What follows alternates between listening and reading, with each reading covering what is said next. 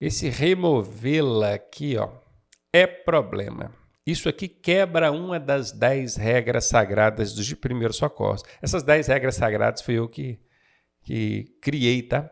Eu peguei todo o manual de primeiros socorros e estabeleci ali dez regrinhas, são dez frases, que ajuda você a responder 90% das questões de primeiros socorros que caírem lá. Ajuda demais. Dez frasezinhas matou a parte de primeiros socorros. Isso você só encontra no nosso curso, tá?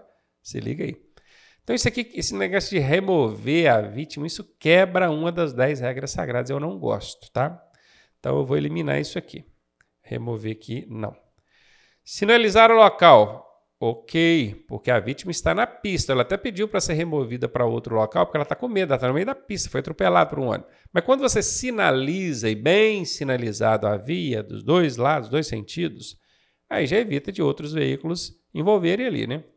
Oferecer bebidas e alimentos. Aí lascou tudo. Isso aqui também quebra uma das dez regras sagradas de primeiros socorros.